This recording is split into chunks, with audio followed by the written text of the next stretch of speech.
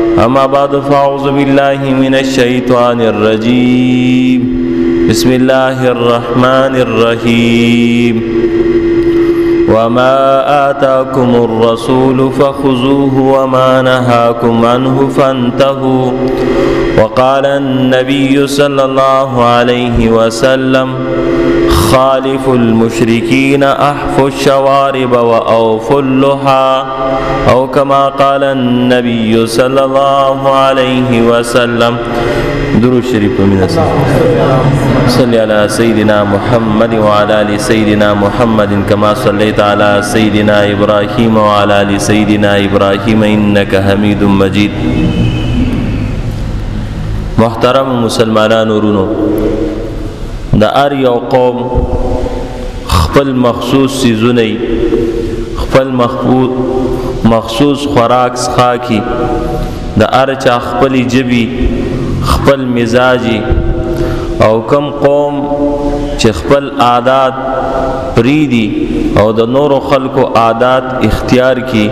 نو هغه خپل عادتونه د اغوی ختم شي او لر شي سرنګ چې په دنیا کې د قومونو خپل تهذیبونه او ثقافتونه دي به حیثیت مسلمان زمنګ یو اسلامی تهذیب یو اسلامی هیئات یو اسلامی شکل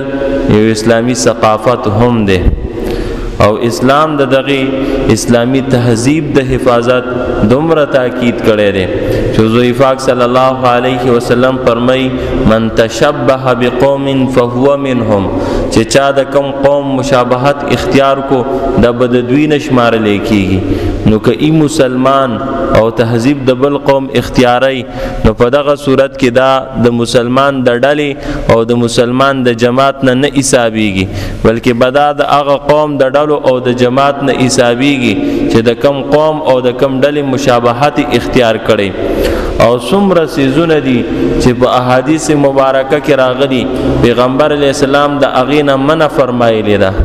او د اغي په تشریح کې علما لیکلي چې د دینه د منی وجه صرف او صرف دا ده چې دا د غیر قومونو تهذیب دا غوي طرز او دا غوي شکل له د غیر قومونو د تهذیب او د شکل او صورت په بیمان اسلام منع وکړل چې مسلمانان دې دغه عادتونه او دغه طریقې په خپل ژوند کې نه راولي د مسلمانانو خپل یو تهذیب دی شاعر او علامات دي دا اذان د مسلمانانو یو نه خدا د جمع په دسه هيئت سره په صفونو کې منځ کول دا د مسلمانانو یو نه خو علامت ته عمره او حج د مسلمانانو نخ او علامت ته سرنګ چې دا د مسلمانانو دي هم په دې طریقې سره د مسلمانانو وضع او قطع هم ده چې د مسلمان بخپل یو محسوس لباسي د مسلمان بخپل یو خصوصي شکل او صورتي او کداغه ظاهري وضع او قطع انسان فریدي نو ظاهري تور باندې د مسلمانانو د هغه شکل او صورت نه دارا بهر شي او د نورو خلکو شکل او صورت اختیار کی بیا په مسلمان کې او په کافر کې د ظاهر په اعتبار سره اس قسمه فرق نه کیږي قرون اولا کې د اسلام ابتدایي دورونو زمانی چې تیری شوی دي مسلمانان چې کم زه تطلا د دغه خپل وضع او قطع په وجه باندې به هغه مسلمانان ګڼل کېدل او داغي یو روب او داغي یو دبدبه په خلکو باندې وا او اوس چې انسان غیر مسلمه علاقې ته لاړ شي نو د ظاهري شکل او صورت په اعتبار سره په مسلمان او پاغه کې فرق نه نو په جبه باندې ویل بیا لازم کیږي چې وی ته خپل صراحتونه وضاحتونه کوي ورې چې زما د اسلام سره تعلق دی او زه مسلمان یم او یو وخت سیو چې انسان ته ویلې شو چې دا کار مکوه دا د الله ناخوخه کار دی د پیغمبر علی السلام ناخوخه کار دی او دا یو کار وکا دا الله ته خوخ دی او دا د الله رسول صلی الله علیه وسلم ته خوخ دی بس بیا به خپل عقل خپل سوچونه خپل فکرونه ټول پرې خودل او پوری به هغه عمل په خپل ژوندۍ کې راوست او کافرو په مسلمانانو باندې اوس دومره مهنتونه وکړه چې پویا ټول مسلمانانو ته حاصلې چې دا کار ټیک دی دا کار ټیک نه دی او بار بار د هغه تذکری کیږي او د هغه باوجود د مسلمانانو په ژوندۍ کې د هغه عملی تقاضې راځوندې کیږي نه په دغه کارونو کې چې کافرو په مسلمانانو باندې ډېر زیات مهنتونه او کوششونه کړې دي یو د مسلمانانو ظاهری شکل او صورت د اغوینه اغستل دي تاسو وګورئ په معاشره کې د ډېرو زیاتو خلکو شکل او صورت د شریعت او د اسلام موافق نه دی دا د کفر یو مهنت او کوشش دی او آینده نسلونو باندې کې دی شي چې د دینم ډېر زیات مهنت او کوشش وکړي شي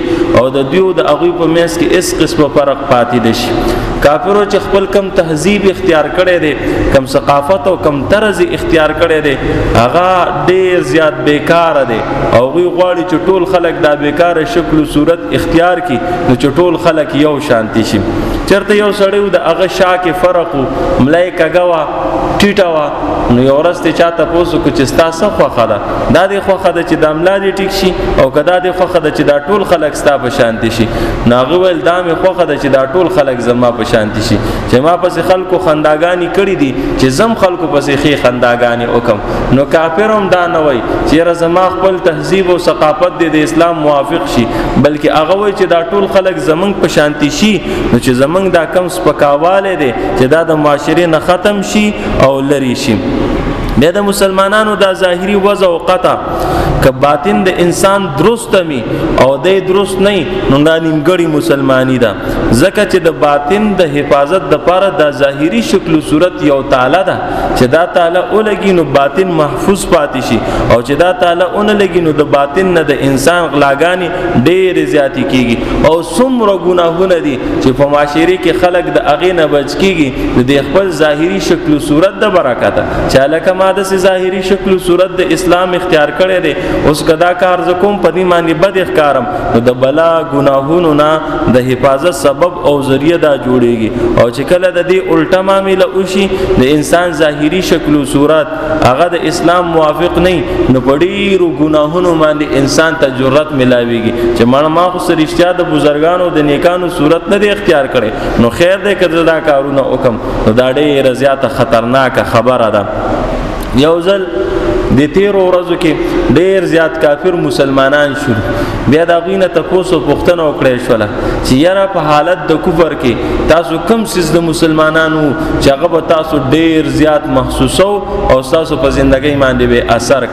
عجیب سوال چې په حالت د کفر کې د مسلمان د کم سیس د ډیر زیات متاثر وي هغه په جواب کې ویل چې د مسلمانانو د ظاهري وضع قطه کمه ده دا شکل او صورت چې کم دی دا ډیر زیات اهم دی موږ به چې مسلمانان ولیدل چې اسلامی تهذیب کې وو او اسلامی شکل او صورت کې وو نو په موږ باندې ډیر زیات روب hebat او دبدبه د دین راتلا او موږ به د مسلمانانو نه ډیر زیات متاثر کیدو نو بیا غوي وصیت او نصیحت دا وکړو چې مسلمانانو ارس کوي او کم از کم د خپل ظاهری شکل او صورت تاسو حفاظت وکړي او دا دقه سي محفوظ اوساته چې کفر هم دغه سي تاسو نه متاثر کیږي د موسی عليه السلام په دور کې جادوګر پرون راوستل چې د موسی عليه السلام سره مقابله وکړي لیکن جادوګرو د مقابله په ځای باندې ایمان قبول کو په دې باندې مفسرینو بحث کړي یو سړی د پیغمبر مقابله لرازي هغه ته ایمان نصیب کیږي دا څومره عجیب خبره ده وجه د هغوی دا ذکر کوي چې دی جادوګرو د موسی علی السلام ظاهری شکل او صورت اختیار کړ دوی چې مقابله لزو چې موسی علی السلام څنګه لباس کې راځي څنګه شکل او صورت کې راځي موږ به اقص لباس او شکل او صورت د مقابله د پاره اختیار کو الله په د هغه ظاهری وظیقت دومره لوی اثر وکړو چې د هغه په بنا باندې هغه خلکو ته ایمان نصیب او کلک او مضبوط ایمان ورته نصیب شو او مولا علی قاری رحم الله یو ډیر زیاته بل عجیب واقعا نقل کړی دا فرمایي چې یو کس د فرعون په دربار کې د سیو چې هغه به د موسی علی السلام شکل او صورت اختیار کو او د موسی علی السلام مذاق او مسخره به اڑاووله او کله چې فرعونیان په دریاب کې ډوب شول نو دا سړی بچ پاتې شو موسی علی السلام د الله پاک نه تاسو کو چې الله دې سړی نه خو زتنګم دا څنګه بچ پاتې شو نو موسی عليه السلام ته په جواب کې الله پاک فرمایل چې الحبيب لا يعذب من كان على صورت الحبيب چې څوک د محبوب د شکل صورت موافقي نو محبت کوون کې انسان هغه ته عذاب نشي ورکوله دستا شکل او صورت اختیار کړو او دغه صورت زما د محبوب شکل او صورت ته نو دغه ظاهری شکل او صورت په بنا باندې ما دا سړی د عذاب نه بچ کو او هغه ته ایمان هم د دې په وجه باندې نصیب شو مین دی بچی وفات شي ځان سه تصویران ساتلی اگر چې تصویر خلاف شرع کار دی او هغه تصویر سزلو تم تیار نه اده چې غنی لکه خپل پجې چې څوک سيزي حالانکه هغه تصویري هغه حقیقت کې داغه شکل او صورت داغه جسم موجود نه او داغه د شکل او صورت په بنا باندې صرف هغه ته تیار نه هم په دې طریقې سره یو عربي عالم لیکلی دی چې په یو مقام او په یو ځای کې ډېر یو بډای زنانه و سپینسری او زی ولیدلم او زما خواله رااله او زما لاس خپل کو په سر راته لاس راکاګو مولا به زه خو تا پیژنم نه تا ولی ما سره دومره مینه وکړه یاره وی زما د دویشتو کالو زیو بالکل ستا په شانتیو هغه وفات شوی دی په ځوانۍ کې ما دا غزوی را یا شو دا غزوی مینه مې درته وکړل د دې ټولو خبرو نه معلومیږي دا چې یو انسان د نیکانو صالحانو خلکو شکل او صورت اختیار کی د پیغمبر علی السلام شکل او صورت اختیار کی نو الله به ته هدایت هم نصیب کړي الله به ته کمالات هم نصیب کړي دغه ظاهری شکل او صورت په بنا باندې الله پاک به د خپل قهر او غضب نه د گمراهی د کفر او د زلالت نم د انسان بالکل بچ او محفوظ ساتي یو باچا په یو دور او یو زمانہ کې اعلان وکړو چې زه د خپل لور واده د شاهزادګۍ د سچا سره کول غواړم چې ډیر زیات بزرګ او ډیر لوی ولی الله د الله بیا دا خبره ډیره زیاته مشهوره شوله یو ځوان ویل چودره غزه دا طریقه اختیاروم نو چرته یو جماعت کې لاړې د سې د بزرګانو شکل او صورت اختیار کو د بزرګانو شکل او صورت چې اختیار کرورو هغه مشهور شو بیا ول باچا امراله باچا ورته یو دعا یاد کړ چې دا زما د پاره او کغه چې لاس اوچت کو دعا قبول شول بیا دا غینه پس باچا ویل چې واقع دا خو ډیر زیات بزرګ دی د خپل لور واده ور سره کول وختل نو هغه انکار وکړ دینه او به ډیره زیاته عجیب خبره دا وکړه چې ما صرف او صرف ډیری شکل او صورت د نیکانو صالحانو خلکو اختیار کړو او پاغي باندې الله پاک ما ته دا کمال راکو چې زما دوی قبول کړله نو چې زکل حقیقتا د الله د رضا د پاره دا شکل او صورت اختیار کم نو بدی کې به څومره کمالاتي نو د کم مقصد د پاره چې دا ما اختیار کړو هغه یو دوکا وا دا هغه دوکې نه زبر کیګم او دا غي نظر او زما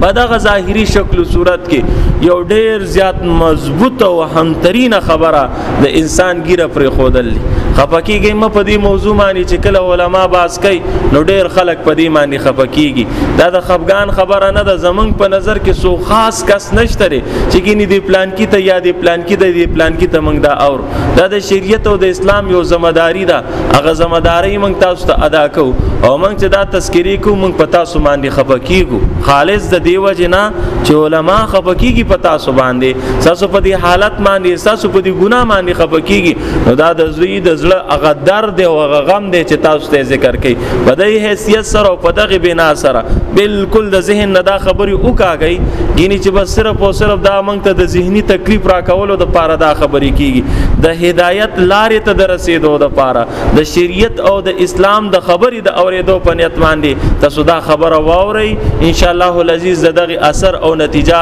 دا تاسو په ژوندۍ کې خامخا راځي نو دا عمومي خبره ده چې یو انسان دا ګیره پری دینو د پیغمبر علی السلام شکل او صورت یو ډیر حد پورې د اختیار کو او د نیکانو صالحانو خلکو شکل او صورت هم د انسان اختیار کو او د یو ډیر لوی ګناه ده د انسان بچ او محفوظ پاتې شو ځکه چې بخاری شریف کې روایت راغلی پیغمبر علی السلام فرمای چې تاسو د مشرکانو مخالفت کوئ او تاسو ګيري غاټي کوي او بریت واړه کوي او عبد الله ابن عمر رضی الله تعالی عنہ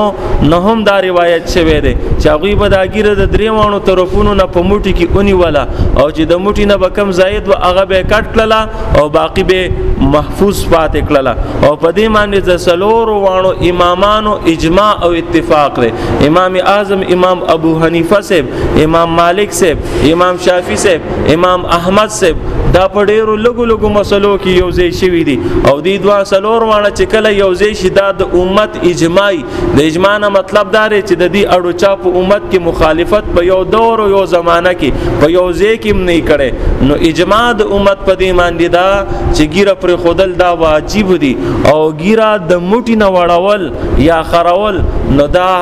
مکروه تحریمی دی ګنای کبیره ده او سخت عذاب باعث د انسان د پاره دا جوړیږي قران پاک کې چې کم ځای کې د الله د رسول صلی الله علیه وسلم د اطاعت حکم راغلی دی هغه ټول مقاماتو کې دا حکم هم شامل دی ځکه چې پیغمبر علی السلام حکم کو چې ګیره غټه کوي نو د پیغمبر علی السلام په اطاعت باندې چې کم کم آیاتونه دلالت کوي هغه ټول آیاتونو د لاندې د شریعت دا حکم داخل شو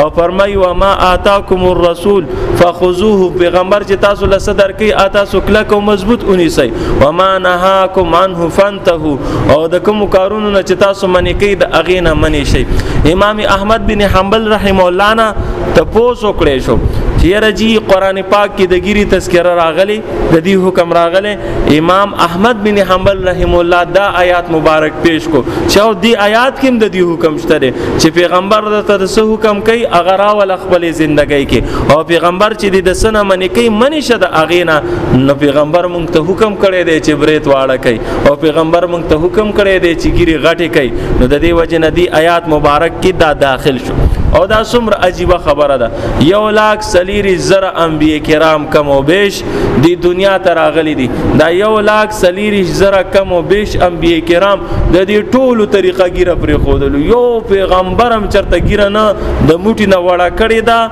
او نه خراولې دا او د دې انبیاء کرامو چې څومره صحابه نو د ټولو صحابه کرامو ګيري پرې خوي د یو صحابي متعلق هم څوک دا ثابتولې نشي چې یې ګيره خرولې و یې د یو موټي نه کم کړي و او په مقدس مکه چې څومره محدثین څومره فقها او څومره اولیاء کرام تیر شوی دي د ټولو خلکو دا عادت او دا طریقه برقرار ساتلې و نو دا د امت د اتفاق او د یو ځای کېدو څومره یو زبردست میدان دی او څومره مضبوطوالی سره دا خبره ثابت ده چې د دې ټولو خلکو په دې باندې اتفاق راغلی شاه ولی الله رحم الله په حجت الله البالغه کې لیکلي وقصها اي الله يا سنت المجوس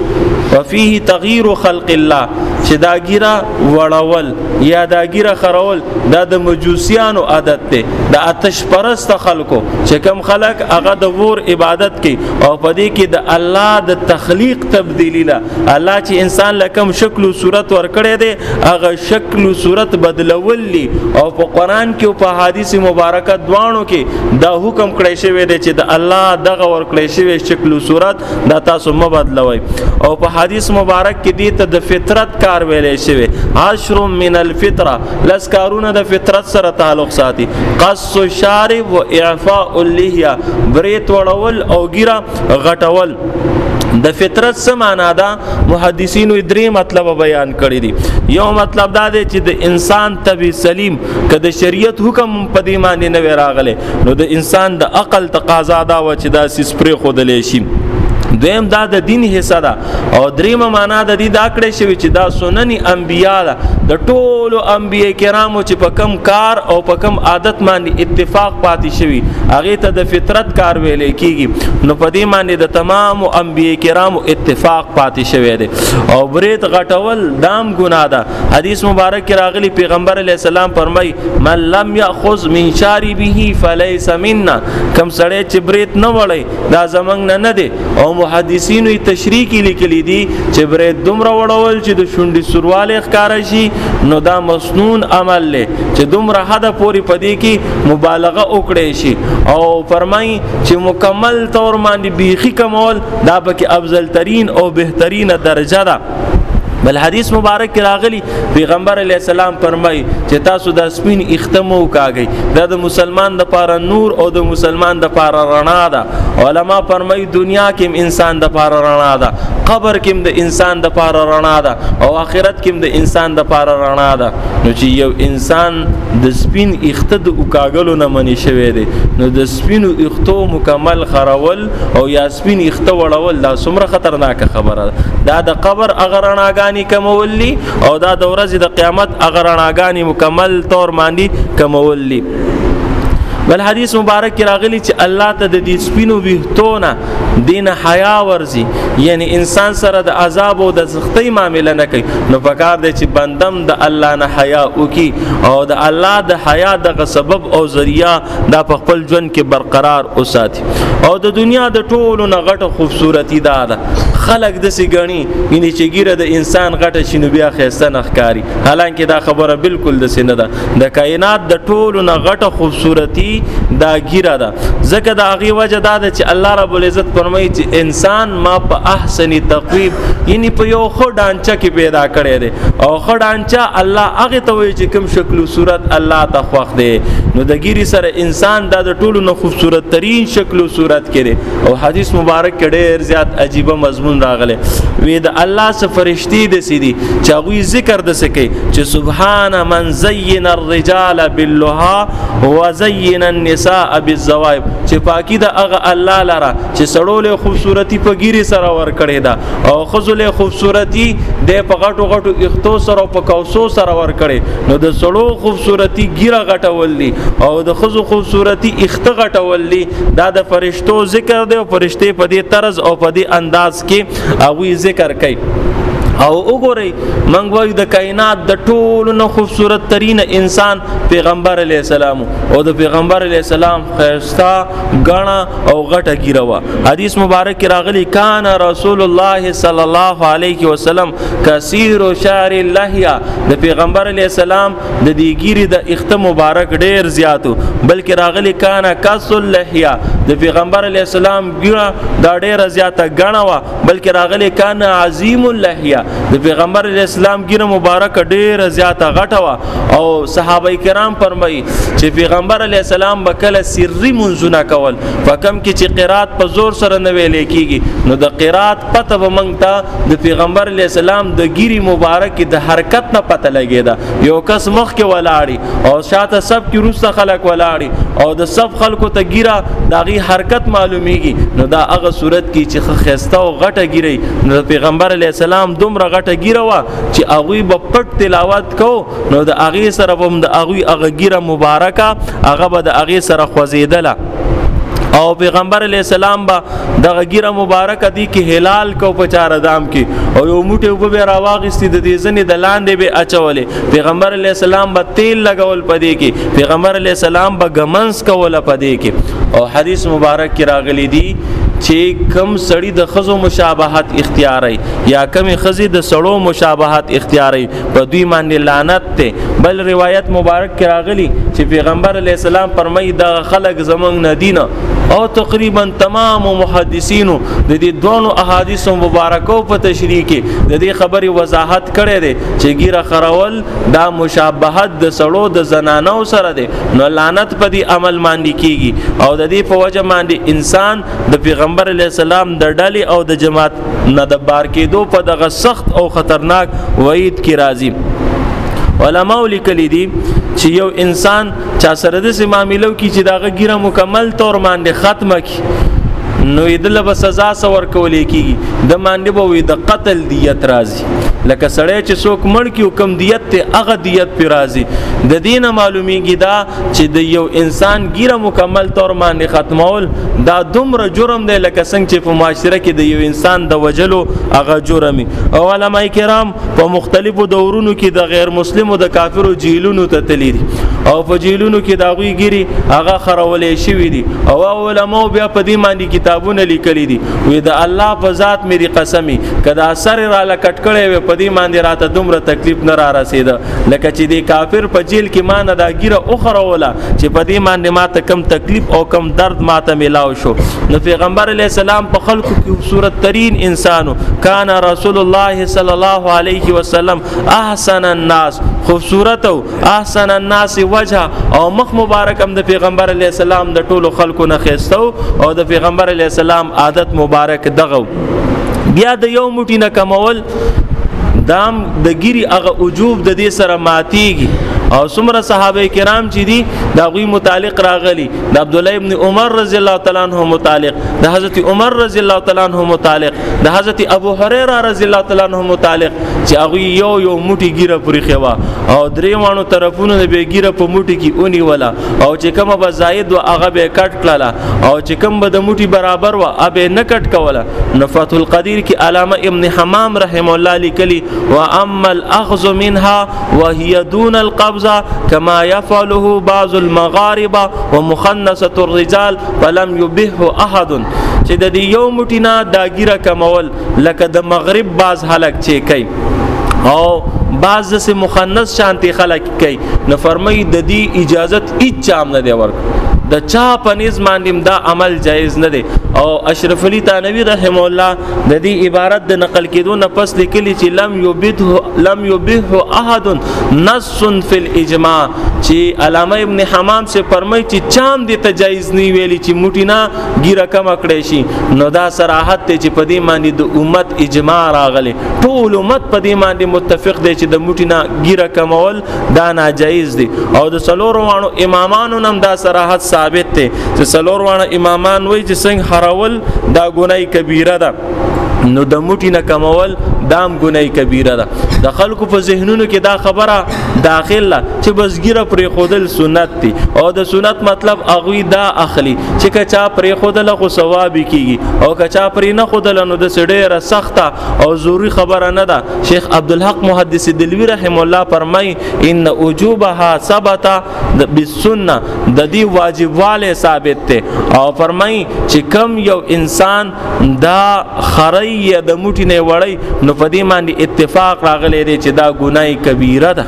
دا ډیره خطرناک او ډیره زیاته سخت خبره ده د دې وجې نه د دې خیال ساتل پکار دي چې انسان په دې ګناه کې مبتلا نشي یوسف لودیانی رحم الله یو ډیر لوی بزرگ او سستر شوی هغه په خپل خطباتو کې یو ډیر زیاته عجیب خبره لیکلې کول د زړه په غوګونو او د اصلاح په نیت سره دا خبره واوري یو بزرګ د سیده چې هغه ته د پیغمبر علی السلام ملاقات او زیارت ډیر زیات نصیب کیږي اې د یو ځل د پیغمبر علی السلام نه تاسو کو په خوب کې پیغمبر علی السلام په خوب کې لیدل دا بالکل رښتونه خوبي حدیث مبارک راغلی چې رجی تاسو له په دنیا کې سوګ د سرا لپ ژوند کې چې اغوی بغیره وړه کړي وا یا بغیره خراولې وا نو تاسو به مخ اړه ځکه چې په روایت کې راغلي دي چې د ایران نه دوه قاصدان پیغمبر علی السلام نه راغلي او بریتي غټ کړو او ګیره خراولې و پیغمبر علی السلام ته مخ مبارک واړو او وی فرمایل ک چرته دا خبره نه وي چې عرب ډیر بدی غني چې قاصد قتل کړي شي نو تاسو به ما قتل کړي وي او ویل تاسو ته چا دا ویلی چې تاسو دا بریت غټ کړی دي او دا ګیریم وړي کړی دي وی دا خو مونږ تخپل رب ویلی خپل بادشاہ یادو پیغمبر علی السلام فرمایل لیکن ما ته خپل رب دا ویلی دي چې بریت واړه کا او ګیره غټه کا نو حدیث مبارکه کې دي چې پیغمبر علی السلام ته مخ مبارک واړو نو دا بزرگ پرمای ما ته تاسو کو چې رجی تاسو خو په ژوند کې مخ مبارک اړو او تاسو د روزه مبارک خواته بلا خلق په قطارونو کې ولاړی او غویم ګیری خرولي و تاسو سه عادت مبارک دی وی پیغمبر علی السلام فرمایل چې اوسم په خپل روزه مبارکه کې چې دغه خلق زوینه ما نو اوس هم د دې خلکو نه مخاړم چې سړی عمره لاله شي یو سړی حج لاله شي او پیغمبر علی السلام ته مخ واړی د دې حج او د دې عمره به د انسان ته څه برکت حاصل شي دا ډیره زیاته خطرناکه خبره ده مولانا الیاس رحم الله به فرمایل دا سرکاري فصل لې کدا سرکاري فصل تاسو کټ کو نو سرکار بم راگیر کی لکه څنګه چې سړی سرکاري ځای ته نه ورځو سرکاري سيزونه نه روچته چې جرم دی نو داسې دا کټ کول دام یو ډیر زیات جرم دی او حدیث مبارک کې راغلی پیغمبر علی السلام فرمای کل امتی معافن الا المجاهرین زما ټول امت به معاف کړي شي او چې دا کم کولم کولا خکارا او جهريه ګناه کوي دا خلک ناقابل معافي دي او تقریبا تمام علماو حتی تر دې پوري چې مفتی اعظم مفتی شفیع رحم الله د دې حدیث مبارک په تشریح کې هم د دې ګيري دا وړول د موټینا یا د ګيري دا خرول دا ذکر کړی دي چې دا د دې حدیث مبارک په مزداق کې راغلي چې ګناهونه معاف کیږي خو ګره دا ناقابل معافي جرم دی یعنی خطرناک جرم دی او په ورځ د قیامت معنی علماء لیکلي دي حدیث مبارک کې دي چې پیغمبر علی السلام له بعض امتیان راشي نو پیغمبر علی السلام به مخ واړی ویل شي چې دا خو تاسو امت ته نو پیغمبر علی السلام وو فرمایي چې نه دا خلک زمانہ پس بدل شي د بدلیدو څه مطلب دی علماء تشریح کې دام لیکلي چې عقیده بدل شي او د دې حدیث مبارک په تشریح کې د بری صغیر اکثر علماء دا د ګیری خرول هم نقل کړي دي چې فورز د قیامت به د حوض کوثر په غاړه پیغمبر علی السلام د دسې خلکو نه مخ اړای چې پیغمبر علی السلام ته مخ واړی نو بیا بس کیږي د انسان سره هغه اخیری امید او هغه اخیری تم و د انسان چې دام ختم شي نو سب د انسان سره برقرار پاتې شي او حکیم اختر رحم الله لیکلی دي چې انسان سره باقاعده په قبر کې چې کوم حسابونه کتابونه کیږي په دې معنی کیږي چې دته ویل کیږي چې زما د پیغمبر شکل او صورت تا ولی نو اختیار کړي او زما د دشمنانو شکل او صورت دا تا ولی اختیار کړو او تمام فقها په دې باندې متفق دي چې د چا د ګيري مذاق وړاول یا دې ته سپک نظر کول دا کفر دی په دې باندې انسان د اسلام نم خارجيږي او د نکاح تجدید هم پس د ایمان نه په دې انسان باندې لازم او ضروری د نوح علی السلام قوم چې غر کړی شو تباہ برباد کړی شو نو فرمایي چې په هغه کې یو ګناه دام وا د حضرت حسن رحم الله نه په دوری منصور کې روایت ته چې قصد اللحیه چې دوی بګیره وړوله خرول تذکرہ نه دراغلی وی دوی بګیره وړوله د دې د وجه نه دوی دغه طوفان سره او دغه عذاب سره مخ شو او په دې معاملې کې د اچا اطاعت جایز ده که حاکم وخت چاته وای نه به منی دا خبره که خپل محکمه ورته وای نه به منی که مور پلار ورته وای نه به منی که خزه ورته وای نه به منی شریف علی تانوی رحم الله او شیخ زکریا رحم الله لیکلی دي بعض مسلمانان وای یاره پلان کې اداره کې کار کوم ماته ویګیره وړاک بعض خلک دسی یاره دوبه ته پلان کې زیته د ویزې د پاره کاغذونه لګم وې دا ګیره لګا وړاکا فرمای نه د دنیا د رزق د حاصلولو د پاره با د رزق هغه مالک رازق نه ناراضه کې او وسوک چې همت او کې حوصله او کې بری سیر کې چې کله انګریزانو نو دا غوی لزر فوج په دې لزر فوج کې صرف یو سکی اغیستو هغه ورته ویل دی یو کم لزر کسانو ګری نشته ټولو خرولې ته مو خرو هغه ویل زه بالکل دې ته تیار نه انګريز ول خپل قانون بدل کو نو چې انګريز سک خپل قانون بدلولې شي نو د مسلمان خو ایمان ډیر کلک او مضبوط ته کدا همت او حوصله په ځان کې پیدا کی نو قوانین دا بدلول شي نو په دې کې د اچا اطاعت نشتا او کم ګناهونه چې اعلانیه ګناهونه نو علما لیکي چې دا په بغاوت کې راځي او بغاوت یو ډیر زیات خطرناک جرم دی علما لیکلي چې کم یو انسان دا غګیره د موټی نه کمای په د پس امامت کول په د پس جمع کول مکروه تحریمی دي او فرمایي چې یو انسان هغه په علم ترکی فسر تراوی کوي او ګیره ټیک ده دا بهتر ده په مقابله د هغه حافظ قران کې چې خصې تجوید سره ټول قران ووري په تراوو کې او دا هغه ګیره پورا نه نو څومره اثرات د انسان په دې اعمال باندې د دې مرتب کیږي او څومره فرق په ظاهري احکاماتو کې د انسانانو مخ ترازی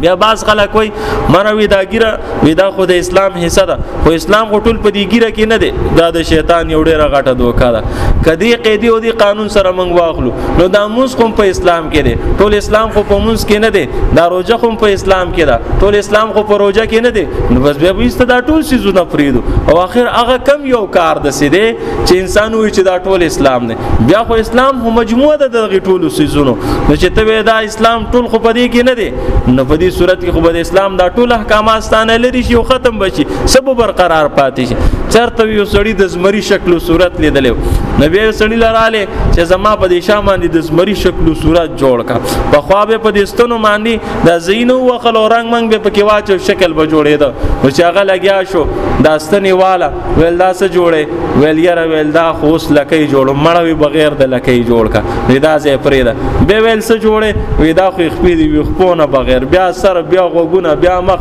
ناغور ته ویل څه پاتې شو زمونږ د مسلمانانو دا حالت یو یو سي زیاتو ما چې ټول اسلام خو پدې کې نه دی نو هغه سی هغه ټول سيزونم د زندګۍ نه وکاګل او برقرار زمنګ سره اسم پاتې نشو بعض نوجوانانو ذهنونو کې دا خبره راځي یره کچرته منګيري پرې خودلې نو کې دې شي چې منګ سره بیا سو کرشتهونه کی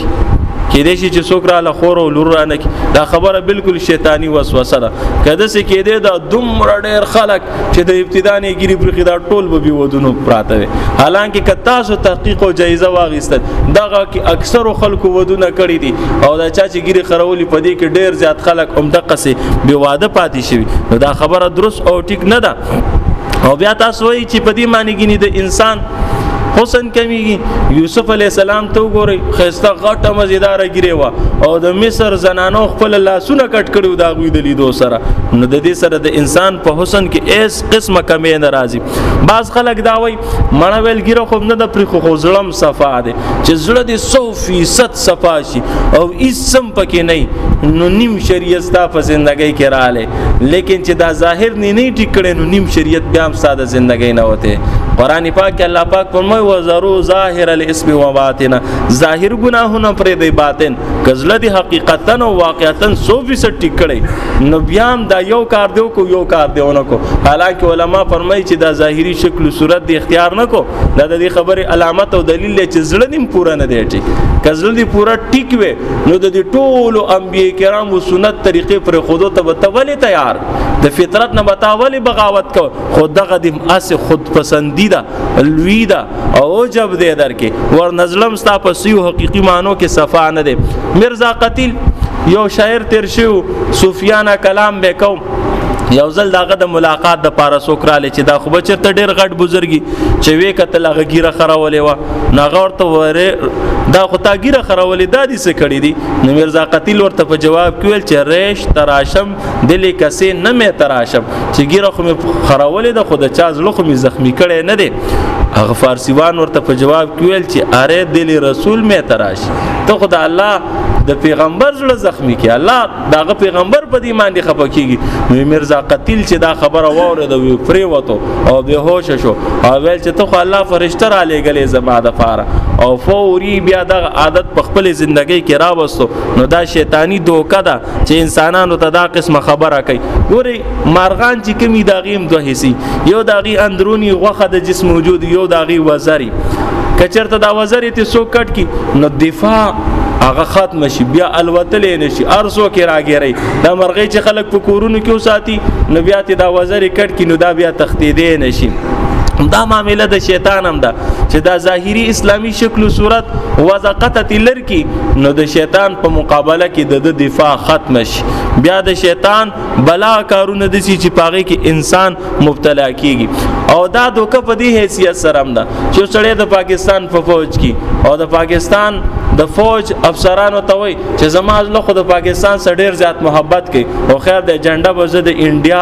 الاس کې اوچا تا کم او وردی بزه د انډیا واچم سو کم دی منلو ته تیار نه دي نو کزړه د انسان ارسم را ټیک شي او ظاهری شکل او صورت نه اختیار کړي نو دا ظاهری شکل او صورت د الله د محبوبانو نه دی د الله د مخالفینو دی نو په دای حیثیت سره د الله محبت دی انسان ته نه نصیب کیږي بعض خلک په دې وسوسو کې مبتلا شوي یاره وی مونږ خو چون کې ګناهونه کو وی کداګیره پریدو او بیا د دې سره دا ګناهونه کو وی بیا ډیر بد ښکار رشوت اخلب حرام خوري کوم پلان کې کار کوم پلان کې کار کوم نو د دې وجې نه اوس ګیره نه پریدم بیا به دا ګناه پرې خودلې دا څومره عجیبه د سادهګۍ سوچ دی چې یو سړی ته پته لګي چې د دې په وجه دا ګناه پرې خودلې کیږي بیا هم دا وجه نه اختیار دا مطلب دا دی چې دا د ګناه پرې خودل نه غواړي دا ګناه د تسپکه ښکار په کار دی چې د ته دا نسخه په خپل معلومه ده چیرې ګناه د دې کار سره بد ښکاری نو دا سیز اختیار کا چې په ګناه در تزان بد ښکار شي او د هغه ګناهونو نه مکمل تور باندې بچ شي او دا غي نه تم محفوظ شي علماء لیکلي دي چې د فساد په دور کې چې انسان په سنت طریقې باندې عملو کې د سلو شهیدانو ثواب ورته ملاويږي هم د دې حدیث مبارک په تشریح کې زمنګ اکابر لیکلي دي چې په دې دور او په دې زمانه کې یو انسان خټ ټیک ټاک یو موټی ګیره پریدي نو په دې باندې د انسان ته د سلو شهیدانو ثواب ملاوي شهادت څومره ګران کار دی میدان د محاذ ته د جنگ بزي او د خپل سر په تلی کې اګدي او کله به درمانې د برنه بمباری کیږي او کله به یو ځای لګي هر وخت به د خطراتو سره مخي او بیا سل پیری شهیدان کېدل دا څومره لوی خبره ده دی یو موټی ګیره کې الله دا کمال پرې بیا ولې انسان دا په خپل ژوندۍ کې نه راولي نو څومره تاوان منګه کو او څومره نقصان منګه کو چې د دغه لوی کمال او د دغه لوی ثواب نه موږ محروم پاتې کیږو د الله نظام دا دی چې څوک ظاهری شکل او صورت اختیار کی الله پاکي په حقیقت کې بدله ظاهری شکل او صورت د نیکانو صالحانو خلکو اختیار کی د الله د پیغمبر صلی الله علیه وسلم اختیار کی الله به دغه حقیقت تاسو لدر کی او حقیقت چې درته حاصل شو نو د دوانو جهانونو نجات او کامیابی برته ملاو شي د دې وجه نه کلک او مضبوط اعظم وکي اس مشکلات پدې کې نشته اس سخت پدې کې نشته اس رکاوټ پکې کې نشته معمولی شانتي حوصله وکي د الله په کور کې اعظم او اراده وکي چې چاګيري خرولي بالکل مخراوي چې څوک وړي بالکل مواړوي او دغه د پیغمبر علی السلام د دې شکل او صورت سره عشق او محبت وکي دور کافر سره او باطل سره د مقابله دي چې ته به چې زه د کافر مخالفي مو دشمني مو نه منم نو پکار دی چې بیا دا غ په سب کې په داسې شکل او صورت کې ودرېږي چې په کوم شکل او صورت باندې اغله غوسه ورزي او په خپکیږي او د مرګ اس پته نه لګي تاسو یقینو کې تاسو هم تجربه کړی چې د ګيري یو کمال دا دی چې د جنازې په کټ باندې دا ډیره زیاته خېسته ښکاري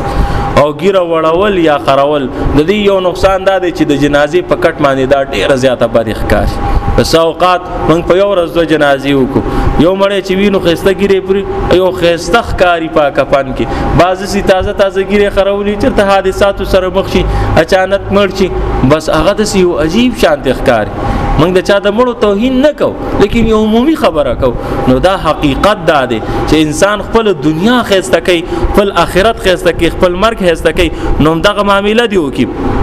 او دا غي سره سره بیا وګورئ ک چرته انسان په کم حالت کې مړ شي روچتيږي پاک حالت ما دا حدیث مبارک دی نو کمنګ د الله د پیغمبر په شکل او صورت باندې مړ شولو نو د الله د پیغمبر د محبوبانو په سب کې برا پاس او کده الله د رسول د مخالفو په شکل او صورت باندې مړ شو نو خطر د دې خبرې ده چې په ورځ د قیامت باندې بیا موږ دا غوي د دشمنانو په سب کې را پاس چې په دشمنانو په سب کې را پاسو بیا موږ سره نور باقی څه پاتې شي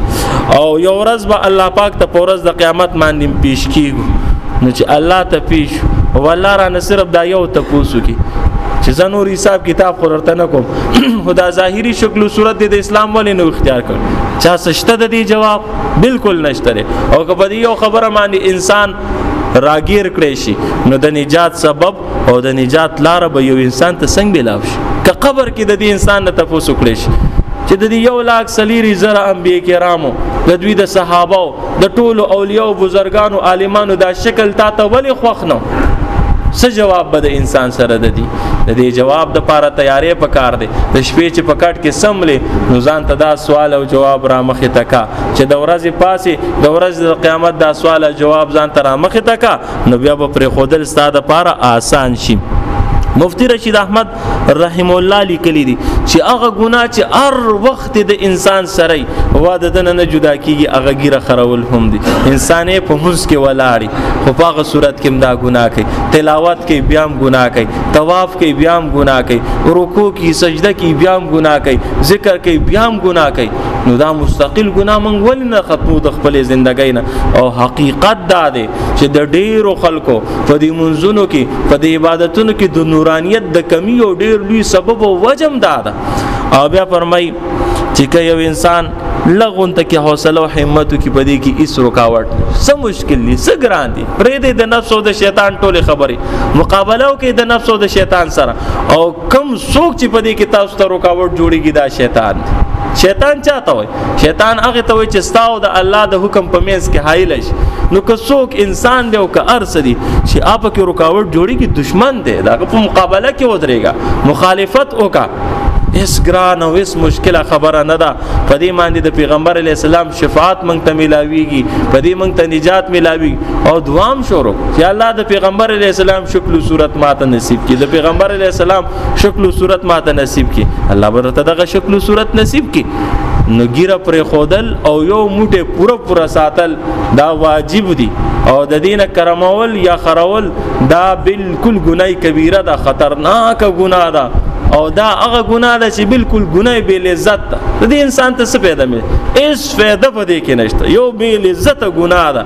ولی په یو بل عزت ګناه باندې موږ الله هم خپکو او د الله رسول صلی الله علیه وسلم هم خپکو هم دلته په دې جمعات کې په دې مبارک او مقدس وخت کې هم په دې دعا کې د اعظم وکړي چې الله دا اوس پورم کړی دا بالکل غلط کړی دي تم ناراضه کړي ستا پیغمبر هم ناراضه کړي د علماو مخالفت هم کړي د انبیو مخالفت هم کړي د صحابه مخالفت او نن چې ان شاء الله العزیز هم د دې صف نفاسي نو کلک او مضبوطه اراده دا وکړي چې آینده به بالکل په دې مخ باندې بلیډ را نه کاږم او آینده به کلم د سیونه کما چې د موټي نه به کما کما ولې دا الله او د الله د رسول صلی الله علیه وسلم ناراضگی دې معمولی شان دي کار د پاره موږ په سر اخلو او کتا سګیره پرې خودلا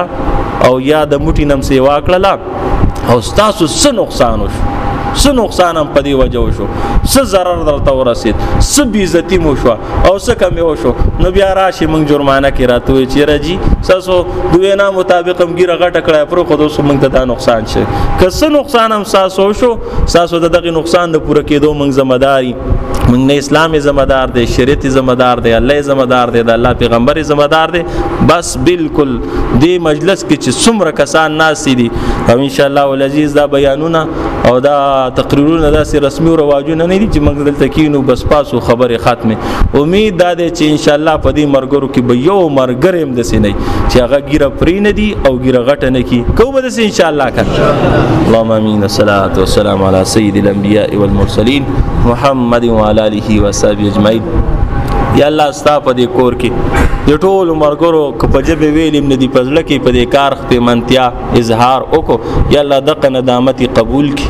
دا ګیر غټول او پر خودل دوی ته آسان کی یا الله آینده د ګیرو د وړولو نه او د خرولو نه بالکل بچ او محفوظ اوساتي کوم رکاوټونه دوی ته ذهن کې نفس او شیطان چولی یا الله په دې جمعات کې تیغه رکاوټونه د نفس او د شیطان د ذهنونو نه لری کی او د پیغمبر اسلام دغه مبارک خیس ستو مقدس شکل او صورت مونږ ټول ته را نصیب کې او یا الله ظاهر هم د شریعت موافق کې او باطن هم د شریعت موافق کې او د دې د برکت یا الله د پیغمبر علی السلام عشق محبت نزدېکت مونږ ته نصیب کې په قبر کې سوال جواب راته آسان کې په ورځ د قیامت د غوي سفارش راته نصیب کې او یا الله د هغه خلکو نه مساتې چې پیغمبر علی السلام به د حوض کوثر د خوانه شړی وصلی الله تعالی علی خیر اذان کیږي بیا سنت کوي